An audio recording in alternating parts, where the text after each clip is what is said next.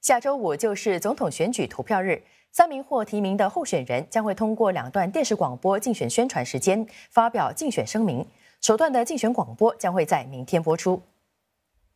资讯通信媒体发展局发表文告说，明天播出的竞选广播当中，候选人将会根据选民册中的反映的姓名字母顺序发言。也就是说，第一个发言的将会是新加坡政府投资公司前首席投资长黄国松，其次是前国务资政尚达曼，第三位发言的是直总英康前总裁陈清亮。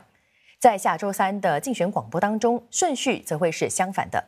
这两段的华语广播将会在晚上十点半于八频道和四个广播电台播出，以及晚上十一点半于优频道播出。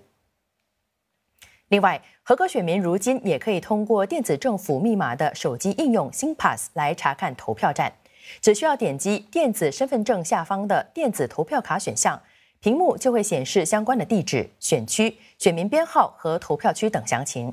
投票日当天，选民也可以通过这项服务查看自己在投票站的排队号码。选民会在这两三天透过邮寄的方式收到投票卡。